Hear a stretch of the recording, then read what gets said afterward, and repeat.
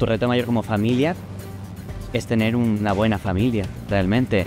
O sea, nosotros no, no pensamos en qué puede pensar la sociedad de nosotros. Nosotros pensamos es el bien para la niña. No estamos pensando en encajar aquí o encajar allá. La gran diferencia no está por el lado de la orientación de los padres y cómo estos formaron parejas, sino tiene que ver con el amor, tiene que ver con el deseo de estos padres de serlo. ¿Ustedes están de acuerdo entonces con las familias homoparentales? Negarle la oportunidad a un niño de tener una familia a mí me parece una crueldad.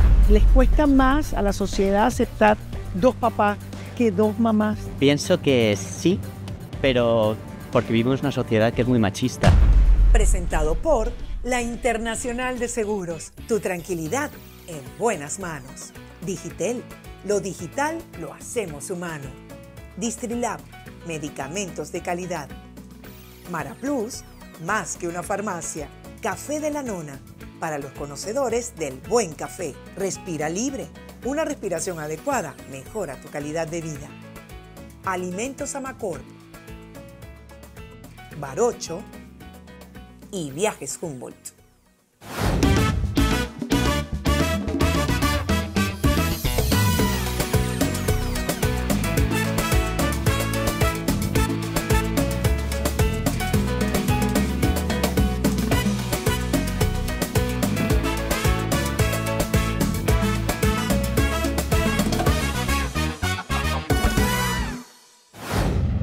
Bueno, este programa, este episodio es para escucharnos a todos definitivamente, para escuchar diferentes opiniones. Yo tengo aquí a unos amigos, ellos están ahora de visita eh, aquí en Venezuela y dije, bueno, es el momento de abordar el tema. Jorge Matamoro, reconocido eh, estilista en, en, España, es venezolano. Si ustedes van a las redes sociales, lo van a ver todo el tiempo bailando joropo, porque bueno, porque él baila la música llanera, la siente, la vive y lo más importante es que la lleva por el mundo también con, con su, y pone a bailar a todo el mundo. A todo el mundo. Pone a bailar a todo el mundo. Pero bueno, lo importante es que está acompañado de Emilio Bordera, quien es su esposo, ustedes están casados, y de su hija Fabiana Álvarez, que tiene 17 años. Gracias por, por venir. Este tema que estamos abordando hoy, que es las familias homoparentales, y que quizá para muchos de ustedes es difícil, pues, eh, poder hablar de este tema por sus creencias, pero bueno, como lo dije ya, es una realidad y nosotros, pues bueno, nos gusta escuchar las opiniones eh, de ustedes. ¿Cuánto tiempo tienen casados? A ver, Jorge y Emilio.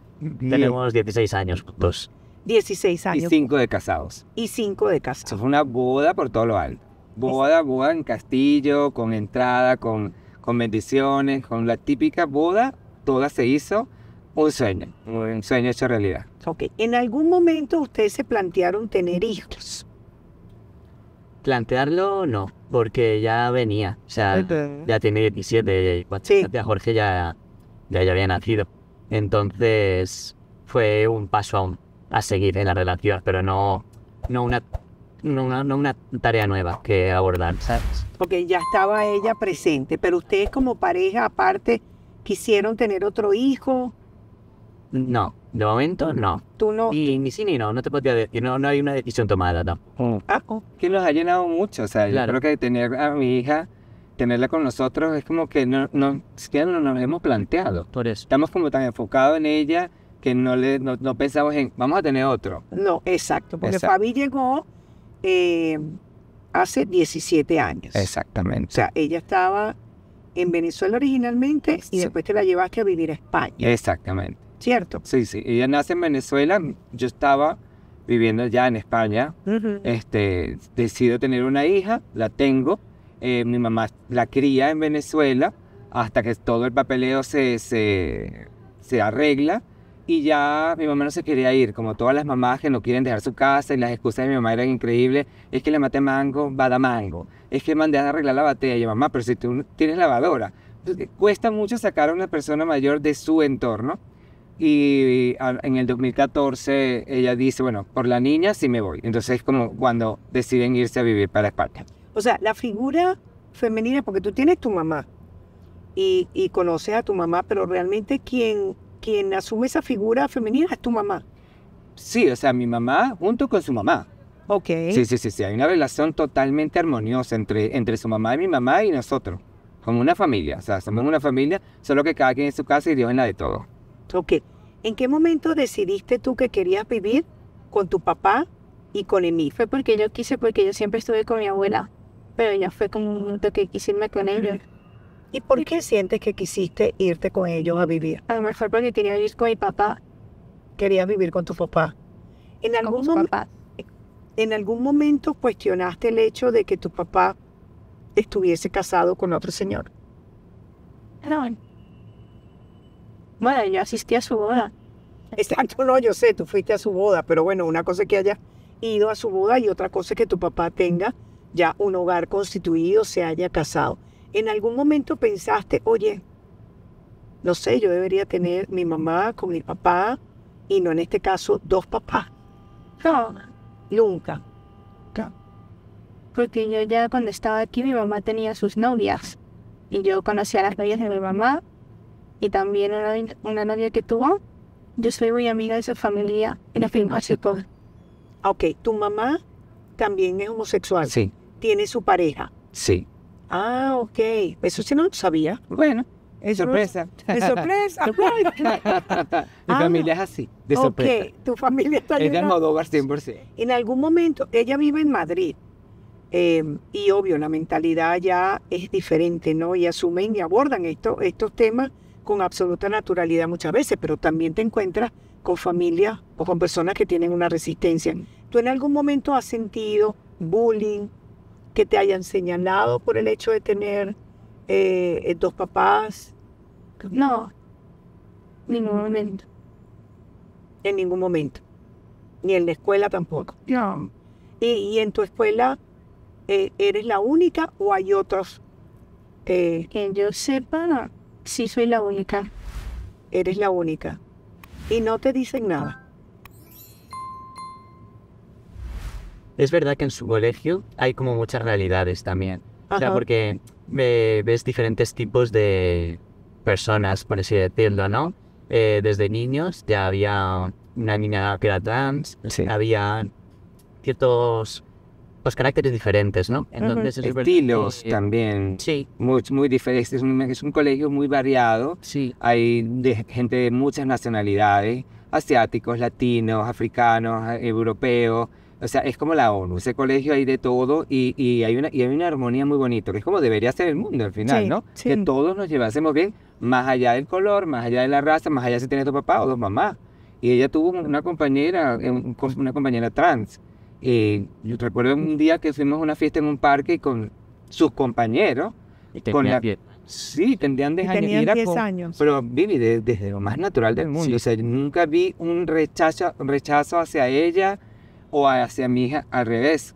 Los papás de, de- de los compañeros de clase de, de mi hija estaban locos por conocerme. Yo viajaba mucho.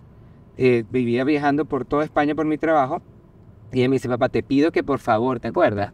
Quiero que vengas porque yo quiero. Y yo, pero porque tú quieres que me conozca. Porque yo sé que tú le vas a caer muy bien. Ajá. Y fue así. Yo llegué y se fue el chau. Todo el mundo encantado y por fin te conocemos. Jamás vi una mala cara, un gesto de rechazo. Al revés, había mucha expectativa por conocer al papá de Fabi, porque todos conocían a la abuela de Fabi, pero no al papá. No, el papá. Ahora, fíjense ustedes, en algún Bien. momento, ¿qué sienten ustedes que es el reto mayor de las familias homoparentales? ¿Cuál sería el reto mayor que ustedes tienen que enfrentar ante la sociedad? ante la sociedad.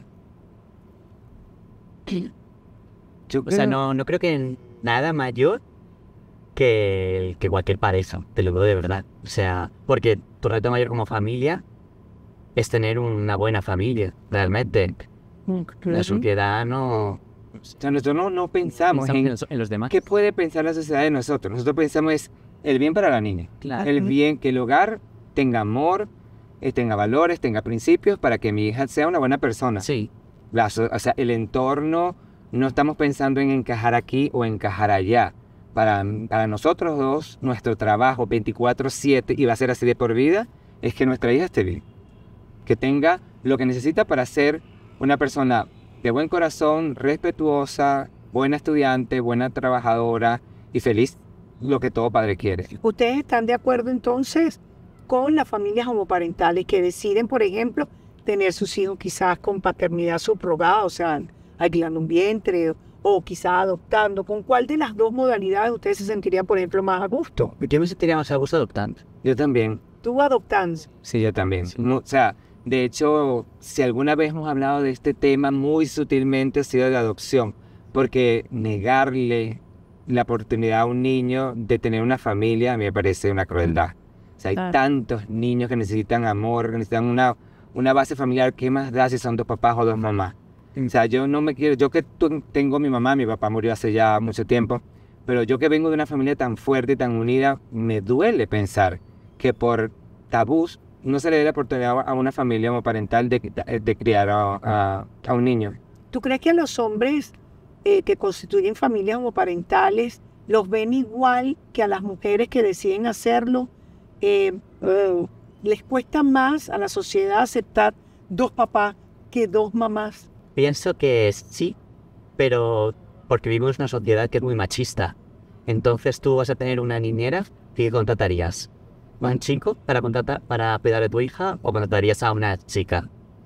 Normalmente el 100% contrata a una chica. No es que estemos muy preparados, sino simplemente que quizás socialmente no está tan visto, ¿sabes? Pero Tú sabes que hay mucha gente que piensa que los hijos que están criados en un hogar homoparental obligatoriamente este, sienten inclinación o orientación sexual por su mismo sexo.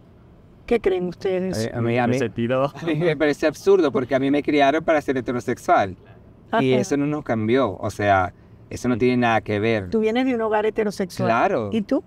también. Ajá. Y somos gay. Y tengo Entonces, hermanos heterosexuales y... y yo también. Pero igual y hemos jugado a lo mismo. No tiene nada que Por ejemplo, en su caso, él, su hermano le lleva un año nada más. O sea que hicieron los mismos juegos, recibieron la misma educación. Su hermano es hetero y él es gay. Entonces no tiene nada que ver. Eso me parece absurdo. Yo conozco parejas de hombres que tienen niños ya adolescentes y son heteros. Y ellos son gay, obviamente. Ok, ¿y tú qué piensas con respecto a eso, Fabi? No, no, O sea, ¿a ti te gustan las chicas o te gustan los chicos? no, me gustan los chicos. Te gustan los No chicos tiene nada que ver. y no tiene nada que ver. Y en dado caso que te gustaran las chicas, ¿tú piensas que tus papás lo recibirían bien? Sí. ¿Has tenido un novio ya? ¿No? No. ¿O no lo quiere decir porque tienes a los dos papás? ¿A ¿Quién, quién de los dos es más celoso con ella? Que lo diga ella. Ajá. Yo creo que, que Jorge. Jorge. ¿Y con quién hablas mejor? Los temas que tienen que ver contigo, con lo que te está pasando. ¿Eh? Con ninguno de los dos. Son 17 años, Vivi. A esta edad tú no hablas con nadie acerca de nada. ¿No? Tú hablas con tus amigas por aquí ya. Ay, ¿por qué habla más? Digo, Conmigo habla más, pero porque yo porque soy también le, le son Yo soy muy... Sí, sí, yo estoy ahí con la cuchara raspando para ver qué saco. Y yo soy el típico papá fastidioso que está encima de ella. Y yo le digo, después vas a decir, ay, papá, ¿te acuerdas cuando yo te decía que es fastidioso? Y ahora ella, tú vas a ser la que vas a estar encima de mí cuando yo esté viejo. Pero yo soy el papá que está siempre pidiéndole cariño y afecto. Y ella con sus buenos 17 años te queda, ay, déjame tranquila, déjame tranquila. En cambio, Emilio respeta más su espacio. Emilio es como que la deja hacer un poco más no la molesta tanto, como yo soy muy cariñoso, muy este, pegostoso. Y, y pues es mi niña, yo, yo la veo como, para, para nosotros me va a ser una niña. O sea, mi hija podrá tener 40 y mil años y, y el día que se case se lo dirá a su esposo. Ella es una niña y para mí va a ser siempre una niña, así que mucho cuidado. ¿Y cómo es la dinámica familiar aquí? ¿Se la dividen exactamente o tú te encargas de ciertas cosas con ella y, y tú de otras? Sí, no, nos cargamos eh, de ciertas cosas. eh, a mí, pues se me da mejor el hogar, la verdad.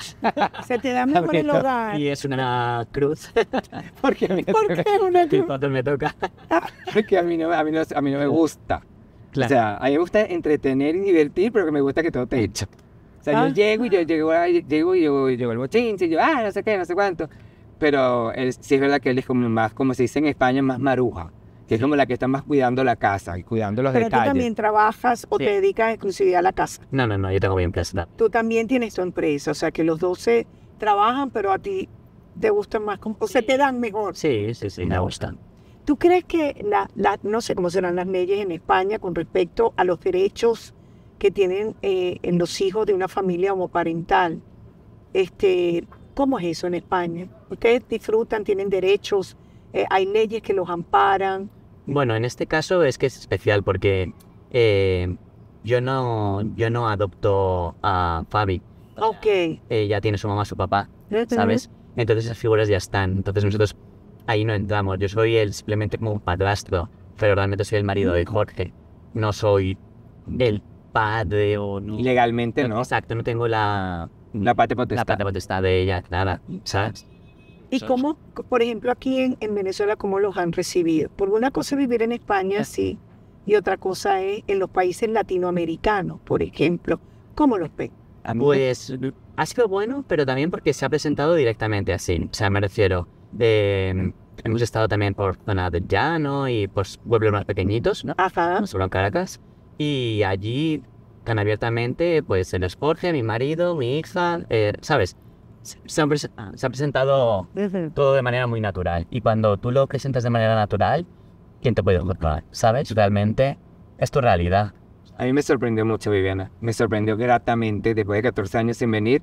En mi pueblo, por ejemplo, en Los Rocos, en Canaima, yo decía a mi esposo y mi hija, nunca vi eh, ningún ápice de, un gesto negativo. Y me sorprende enormemente. Y ahí es donde yo digo que ahí está el buen efecto de que en las películas, en las series, existan personajes y familias homoparentales. Porque hasta la mamá de mis amigos, que son señoras de 70, 80 años, que yo en algún momento podía dudar, íbamos con mucha naturalidad. Mi esposo, mi hija y ellos, ah, mucho gusto. O sea, de verdad estoy muy feliz por eso. No vi un ápice de una expresión de, de, De desprecio desprecio. en nada.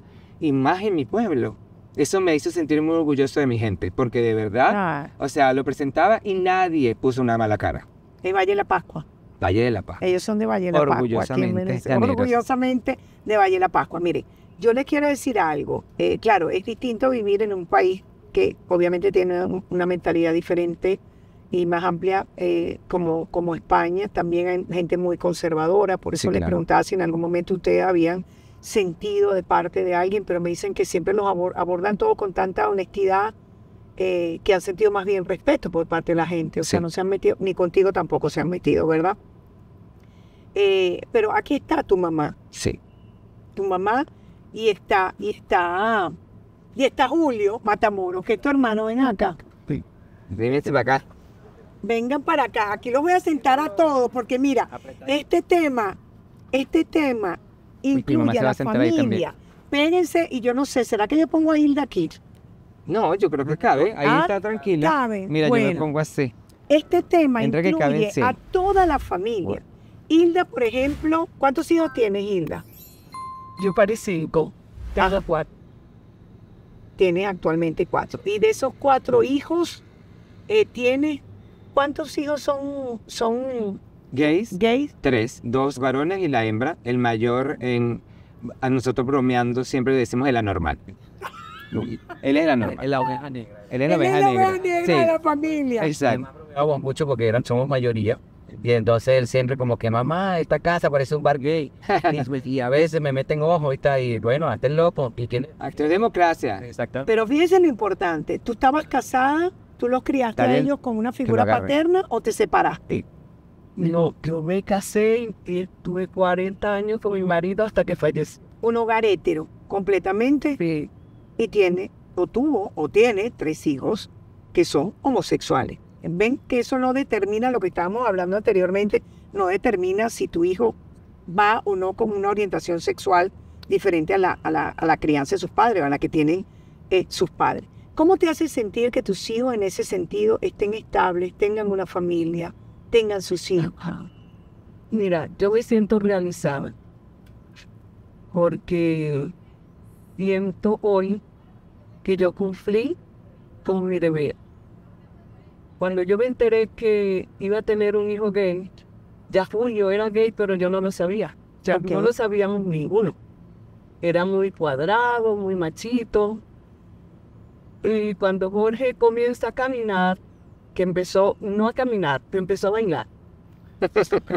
Yo no camino. Entonces, tengo a mi mamá cerca y mi mamá me ve, yo la veo y yo le digo mamá y me dice, parece. Parece. Sí, sí. Entonces yo me sonreí, o sea, yo en vez de sentirme triste o ay, o, o que me dolía. O sentir vergüenza, porque hay familias que Yo me sonreí, yo me, me, di- me hizo como gracia. Y en, ese, en esa época la palabra gay en mi pueblo no existía. Eh, la palabra era marico. Claro, claro. Entonces yo decía, yo dije entre mí, voy a tener un hijo marico, pero con una sonrisa, ¿no? Que a mí misma me extrañó. Y nada. y tuviste dos y la hija Así también. lo fui asumiendo. Hasta que la hembra, yo, yo le compré muchas muñecas, porque a mí me costó mucho tener una muñeca, que creo que no la tuve. Y luego cuando mi hija nace, yo le compro las muñecas y en, en el momento que yo veo que ya no puede con las muñecas, yo le digo, Rocío, pero ¿por qué tú no juegas con las muñecas? Me dice, mamá, eso no se mueve. O sea, ella jugaba con una pelota. ¿Y tu hija sí quiere formar familia, Hilda? Bueno, mi, ¿Tiene una pareja estable, quiere formar familia? mi hija tiene dos hijos. Ah, ya tiene dos hijos. Sí, tiene, ella parió el varón y la pareja parió la hembra. O sea, Ah, pero de la misma semilla. O sea, De- de- inseminación Inse- Claro, del mismo papá. del mismo papá. Ah, ok. Como te das cuenta, tengo una familia que no se para en artículos. Aquí todo el mundo va a ser papá. Aquí todo el mundo va a tener O sea, muchachos. porque fíjate qué bonito lo del instinto, lo que estábamos hablando, que el hecho de ser papá o mamá, el, el tener ganas de ser papá o mamá, no tiene nada que ver con la orientación sexual. No. Es, es- es genuino. Dar amor no tiene Ahora, que ver con eso. porque hay un tema que sí, hay, hay amigos míos, igual como que, que, que ustedes, que son homosexuales, pero que sí dicen y ponen un freno y dicen, yo no le voy a poner esa carga a mis hijos encima. ¿Ustedes qué piensan Me en gu- me- relación a a, mí me gustaría preguntarle a ellos cuál es esa carga. Bueno, ¿ves? La, la manera de pensar. Exacto. Es, por ejemplo, ponerle a los hijos que tienen dos mamás, tienen dos papás, este, y que la sociedad no está preparada para ese tipo de cosas muchas veces. La sociedad aquí. La, la sociedad aquí, pero en España y en Europa es donde nosotros vivimos, en donde nosotros estamos el día a día. Y lo más importante es que nosotros no estamos pendientes de la sociedad. Nosotros estamos pendientes de darnos amor cada día más, de respetarnos, de respetar a la sociedad, de hacer las cosas bien, de trabajar duro y de e incluso llegar a ser ejemplo para otras personas, como es tan gratificante que te digan, ustedes son los embajadores de Venezuela en España. Sí. Eso para nosotros. Y ahí está, y somos gay. ¿Y cuál es el problema? A A mí me- llevamos a Venezuela tan adentro. A mí. A mí me sorprende una cosa, Viviana, que alguien se limite a darle amor a un hijo, a vivir esta experiencia, por lo que pueda pensar la sociedad o por lo que la sociedad pueda ejercer sobre ella. A mí me parece eso tomar una decisión de, bueno, voy a vivir frustrado para complacer a los No, pero demás. no eres tú. Yo no estoy hablando en el caso de usted, estoy hablando en el caso de los hijos. Sí, Porque ustedes no, ustedes son adultos y, y Sí. tomaron esa decisión. Pero la tomaron ustedes, no la tomaron sus hijos. claro. Entonces, claro, cuando hablan de eh, imponer esa carga a los niños, es someterlos quizás a una sociedad que no está preparada para eso. Pero y claro. puede jugar, dime Emilio. Yo te diría, em, la carga la ve el otro. O sea, yo no me siento una carga por ser gay.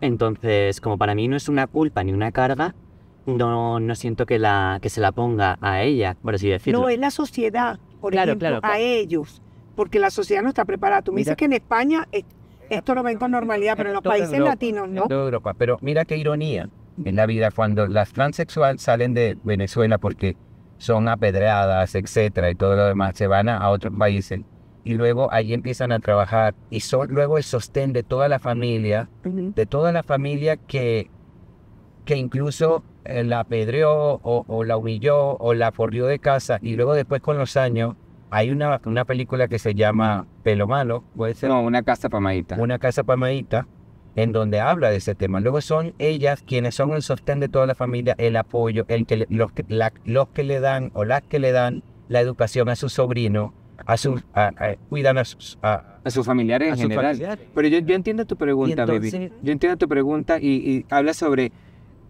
Ellos dicen: Yo no voy a darle esa carga a mis hijos de que la sociedad los critique por tener unos padres homoparentales. Exacto. Exacto. Entonces, eso va a depender de lo que tú enseñes a tus hijos, de la educación que tú le des y los valores que tú le des.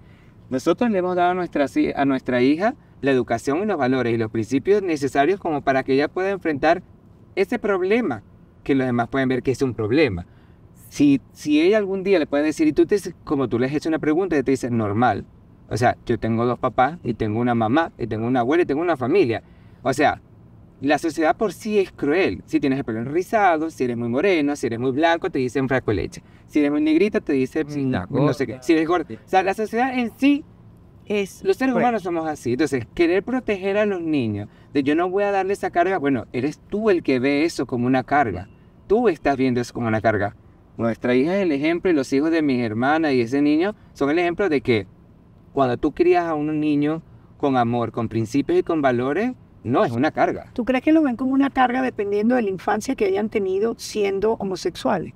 Quizás para ellos, porque si ellos fueron rechazados o tu- sufrieron mucho bullying, van a creer Puede que ellos van ¿no? pero el mundo, gracias a Dios, va cambiando, el mundo, gracias a Dios, va, va adaptándose a los cambios y va evolucionando a los derechos humanos, porque no hablemos que estos son derechos. O sea, tú hiciste una pregunta que me encantó y es, en España estos, estos derechos están. O sea, Sí, las leyes juegan a favor o sea, de... a mí alguien en la calle nos puede hacer algo por ser homosexuales y créeme que esa persona puede ir presa. Pero no solo por ser homosexuales, porque no dice por formar y constituir una Como familia sea, homoparental, Como sea. que es el tema que nos reúne hoy. Pero Exacto. yo veo que, que va en función, lo que sucede en esa familia va en función de, de, de cómo has transcurrido tu, tu homosexualidad muchas veces, ¿no? quizás nosotros porque hemos recibido, eh, como has visto que mi mamá ha respondido, Por o sea, Dios. con una naturalidad, en mi casa nunca hubo ese rechazo. Y tu esposo era de avanzada, como Es, tú es dices. muy importante que la educación que le das con, con respecto a eso desde niño. Yo le dije a Jorge, porque él decía que le hacían bullying en el colegio, entonces yo lo veo mal y yo le digo, mira hijo, esos niños que te hacen bullying, ellos no tienen la culpa. Eso es lo que ellos oyen en su casa. Sí, Tú no los puedes odiar por eso. Mm, Tú los vas a mirar como que ellos están equivocados. Simplemente si te tiran una piedra, por supuesto, tú te apartas. Pero no, no le hagas daño. No les digas nada porque ellos no son culpables. Entonces ellos vienen con esto. Y es una realidad. Eso es una realidad. Fíjate qué bonito. Yo lo tengo aquí como núcleo familiar y completo, porque es un hijo, es la mamá, o en este caso la abuela, la pareja, hablan de su hermana, hablan de la necesidad incluso de, de- de tener y darle a tu mamá eh, otros nietos. Y, y está hablando una mujer que ya tienes tú, Hilda, 73. de 73 años, que desde Valle de la Pascua asumió esto con, No, desde las Mercedes del Llano. ah, desde las Mercedes del Llano, perdón. Sí, como decía mi marido, no sé si debo decir alguna gracia aquí, él decía que entre cochino y gente éramos 200. O sea, ¿te imaginas el pensamiento de aquellos que Sí, que te, fue- te voy a decir algo que es muy importante. Nosotros estábamos haciendo unas casas en Valle de la Pascua, empezamos a montar una empresa de, de comercio, éramos comerciantes. Y estábamos haciendo una casa que habíamos gastado como 40 mil bolívares hace como más de 40 años, Ajá. 50 años, que era dinero. Y un día mi marido me dijo, llegó a la casa, nunca me daba órdenes. Quien, orde- eh, quien daba las órdenes en mi casa era yo. Y me dice, él me llamaba negra, me dice, negra, tenemos que irnos de... Yo me quedé, ¿por qué? Porque este pueblo no te merece. O alguien de mis, de un, de mis clientes me ha, me ha aconsejado que yo te tengo que dejar porque tú tienes un hijo gay. Y el otro parece que va a ser, se quiera ir tú. pero eran hijos de él, además. Claro. Exacto. Entonces me dice, vámonos de aquí". Qué bonito, tu Sí. esposo. Sí, entonces yo, fue lo único, lo único que yo le refuté. Mira, tú que eres, que tienes esta edad y eres de esa generación que quizás muchas veces le cueste más ver esto. Y también es entendible, porque estamos haciendo este episodio para visualizar un poquito este tema y para, si bien no es promover, como ya lo dije, eh, tampoco estamos obligando a nadie a que lo acepte, pero sí que trate con respeto esta situación. Entonces tú que eres una mujer de setenta y pico de años, ¿qué le dirías tú a tu generación en relación a esto? Mira la guacamaya, esto es un privilegio. ¿Ah? Yo estoy fascinado. Aquí están las guacamayas, ahora bajan y se vi. paran aquí. Sí, Sí. sí, sí, sí. ¿Qué le dirías tú a tu generación que quizás le cueste un poquito eh, ver esto? Mira, ya lo he pensado porque tengo una amiga que no acepta que su hija tenga una pareja igual que ella. Y yo le dije a ella, tú tienes que pensar en tu hija, porque ella me dice, es que yo no puedo ver que ella le dé mi beso, es que yo no puedo ver esto y aquello. Yo le digo, pero no pienses en ti, no pienses en lo que tú no puedes ver, piensa en lo que ella quiere. Es que es tu hija, es lo más grande. Yo creo que tu hija, para ti tu hija tiene que ser más grande que tú misma, porque uno daría la vida por un hijo. ¿Cómo tú no la vas a dejar ser feliz si eso es lo que ella quiere? Ella no quiere na- ella no te está pidiendo nada. Déjala que haga lo que quiera. O sea, eso es lo que yo le pido a la generación, a mi generación o a, o a la o a la de más allá, porque existen las de más Sí. allá.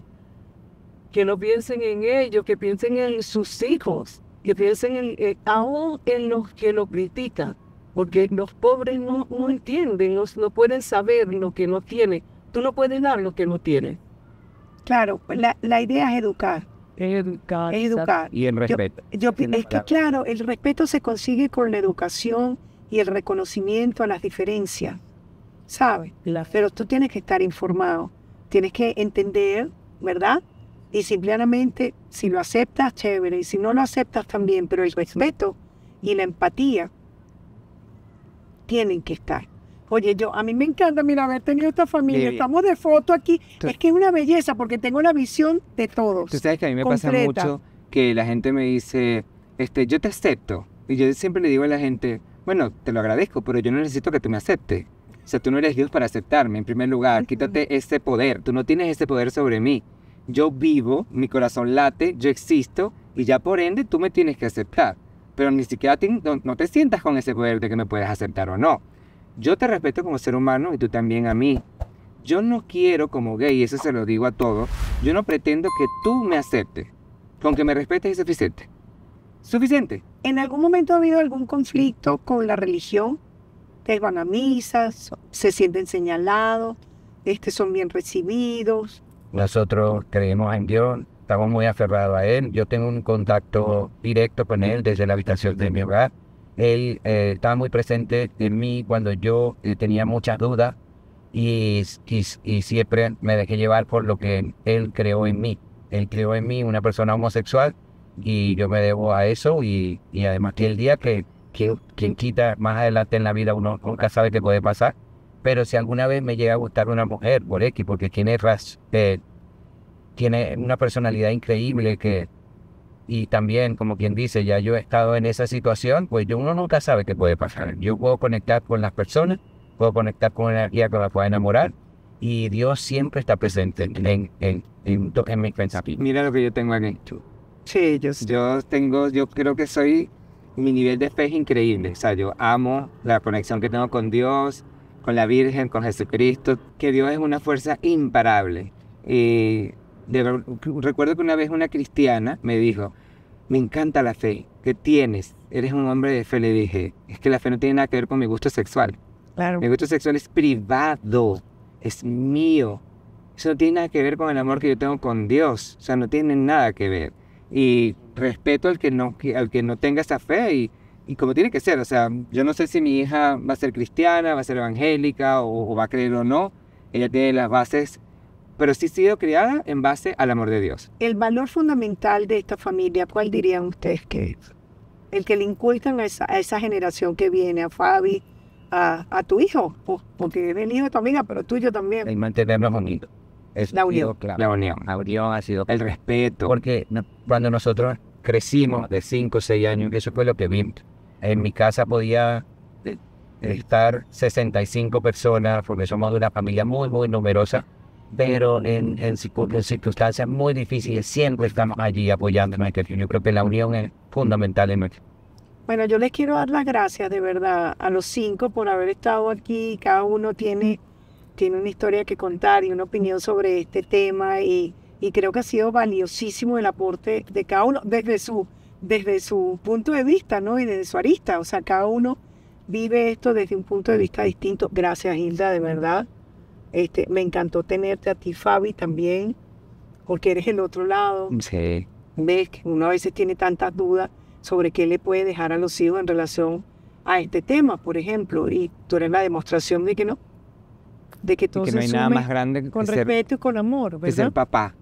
Para mí ese es un regalo de Dios. O sea, las niñas, yo te voy a subir una foto de ella peinándola y yo digo, siempre la voy a peinar. O sea, para mí, esa es mi niña y sobre todo eh, mi esposo que está viviendo todo esto de Venezuela, que estamos felices. El otro día me dijo una frase que me encantó y le digo, ¿qué te, qué te parece Venezuela? Y me dice, a ver, hay un poco como que de caos. Un señor en una moto con una lavadora, de cosas que estoy viendo que le impresionan.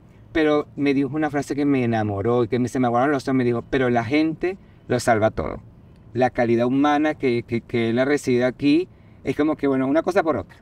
Así es, Y así así, somos los venezolanos. así es. Quiero darle como un cierre a- al episodio de hoy eh, en relación a este tema de las familias homoparentales. ¿Cuál es el mayor reto que ellos tienen según tu opinión? Bueno, yo creo que el mayor reto es cómo poder recibir y alcanzar el respeto, ¿no? Porque al final, y lo escuchábamos en las entrevistas, hay un desafío porque estos padres o madres eligen tener hijos, pero sus hijos van a tener que lidiar con una sociedad que no necesariamente entiende. Y los niños no piden nacer en ningún hogar, como no lo pediste tú, como no lo pedí yo, pero eh, les toca enfrentarse a una sociedad que tiene un mayor estigma social, que puede juzgar las decisiones de sus padres y tratarlos en consecuencia. Y esto definitivamente es un enorme reto. Ahora, ese reto que van a tener que, que enfrentar estas familias, sobre todo les toca para nuestros países latinoamericanos, eh, mucho cuestionamiento, porque hay quien se opone y ven esto como un tema ideológico, como un tema que debe ser combatido, pone en juego o lo que nosotros que- eh, creíamos o la forma en que crecimos y de repente nos toca decir, bueno, tú puedes estar de acuerdo o no con que estas familias existan, pero eso no limita el hecho de que se produzcan, de que el deseo de ser mamá o papá lleve a que las personas en los contextos más hostiles aún afrenten o, o- o se enfrenten, mejor dicho, a ese desafío de querer generar esos vínculos familiares que, bueno, que son parte de lo que somos como seres humanos. Sí, es una planificación inmensa. ¿Qué le dirías tú a uno de las familias homoparentales que están atravesando eh, e- este proceso o quieren formar familia? Y, y para cerrar a las personas que quizás no logran ver esto y dicen, el mundo está, este, está de cabeza, ahora tenemos que aceptar esto o tenemos que empezar a ver esto. Eh, ¿Sabe? Ese tipo de comentarios que los entiendo perfectamente, los entiendo perfectamente. Porque incluso para mí en un momento determinado, no digo ahorita, quizás antes era, era improbable ver eh, eh, familias constituidas de Sí. esta manera. Mira, yo creo que a las familias homoparentales eh, es clave entender que te vas a enfrentar a un mundo hostil. Tienes el derecho de amar, de, querer formar familia, pero te vas a enfrentar a una sociedad hostil, desde lo legal, desde lo institucional, desde lo tradicional, y pretender desconocer que esto es una realidad, eh, me parece que es un error en términos de, no de que esto esté bien que suceda, sino de que esta es la sociedad en la que vivimos y que por supuesto demanda muchísimos cambios, no solo en este, en este ámbito, en muchos otros, pero hay que prepararse y si quieres hacer familia tienes que saber que vas a necesitar acompañamiento, que lo tienes que pensar muy bien, que tienes que hablarlo muy bien con tu pareja, porque a lo mejor tú le dices, quiero que tengamos un hijo. Y claro, desde la fantasía del tener el hijo puede sonar muy bien, pero luego ¿a qué nos vamos a enfrentar? ¿Estamos dispuestos a llevar juntos este camino? Eso es algo que hay que plantearse y yo creo que hay que prepararse muy bien. Ahora, a las familias tradicionales, mira, yo creo que la familia tradicional no está en peligro en términos de eh, nadie te limita el derecho que tú tienes a formar pareja con un hombre o con una mujer y poder tener hijos de forma tradicional. Eso, eso, eso no está limitado. Pero nos queramos oponer o no, esto es una realidad que viene, porque además el mundo está mucho más abierto a estas posibilidades. Esto no es algo nuevo. El otro día No. veía un documental sobre Alejandro Magno, es decir, la sociedad griega, es decir, esto se manejaba con otra naturalidad, esto siempre ha Y existido. el, el Imperio Romano, Por esto- supuesto. o sea, esto siempre ha existido. Siempre ha existido. Ahorita estamos eh, visibilizando Sí. eh, muchísimo más este tipo de... Cada quien, y, y yo creo que este también tema. es una respuesta para las familias que se sienten preocupadas. Mira, uno elige con quién va a formar pareja, de qué manera quiero criar a mis hijos, cuál es la institución educativa con, que tiene valores que se parecen a los míos, e incluso el país. Uno puede llegar a plantearse, oye, ¿en qué lugar quiero que crezca mis hijos? ¿Cuál es la sociedad? La religión. La que reli- tú- y esto es válido, tú puedes hacerlo. Y, y yo creo que ese derecho no está en peligro. Entonces creo que hay que mirarlo desde el lugar de decir, hay gente que está haciendo otros caminos. Estos caminos merecen respeto en el marco de la ley, merecen respeto como el que cualquier persona tiene, pero uno tiene todavía la posibilidad de hacerlo. Es decir, creo que el hecho de que alguien pueda conquistar nuevos derechos, que alguien pueda acceder a, a formas de, de generar vínculos, no es una amenaza para mi manera de vivir y de existir. Entonces, escuchábamos en estos testimonios respeto. Respeto la, como la principal demanda, pero a la vez como también la postura que ellos asumen frente a los otros, porque la idea no es ahora que todo el mundo venga a hacer este tipo de familia, no, es la posición de decir, bueno, eh, yo respeto tu forma y tu decisión de hacer familia, pero también quiero tener el derecho y la oportunidad de hacerlo. Entonces yo creo que desde ese lugar, este es un tema que mueve fibras y probablemente mucha de la gente que nos escucha va, se- no se sienta preparado, pero no hay garantía de que por más que tú utilices los valores más tradicionales en tu hogar, esto no sea una realidad a la que te toque enfrentarte, que tu hijo que hoy tú ves que va a formar una familia como la tuya, se plantea hacerla distinta. Y cuando te toque esa situación, e- es mejor que te, que te prepares bien para que puedas ser receptivo, respetuoso y no quebrantes vínculos que son tan esenciales para el ser humano. Ay, Abel, gracias. Por favor, gracias. Gracias, a ti. quería cerrar contigo, este, porque además, bueno, no solo eres un gran amigo, sino que además tratamos este tipo de temas y creo que finalmente eh, el poderlos conversar, ¿sabes? De esta forma tan fluida y tan, tan amena y tan cercana a la empatía y al respeto, creo que le llega a la gente. Gracias a ustedes por habernos acompañado hoy. Si te tocó la fibra, bueno, yo estaré feliz. Así sea uno que le haya tocado la fibra. Nos vemos en un próximo episodio. Chao, chao. Este programa fue presentado por la Internacional de Seguros. Tu tranquilidad en buenas manos. Digitel. Lo digital lo hacemos humano. Distrilab. Medicamentos de calidad. Mara Plus.